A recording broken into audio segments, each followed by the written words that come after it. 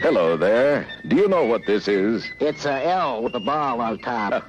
well, golly gee, I never thought of that, but it does look something like a one with a ball on top. Not something like, exactly like. You got the mind of a flea. Uh, quiet down now. This is the letter I. Many words start with the letter I. Many words start with the letter I. And the one that springs to my lips is impolite.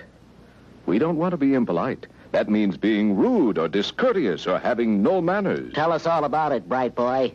Excuse me. Try not to be impolite. Thank you for your time.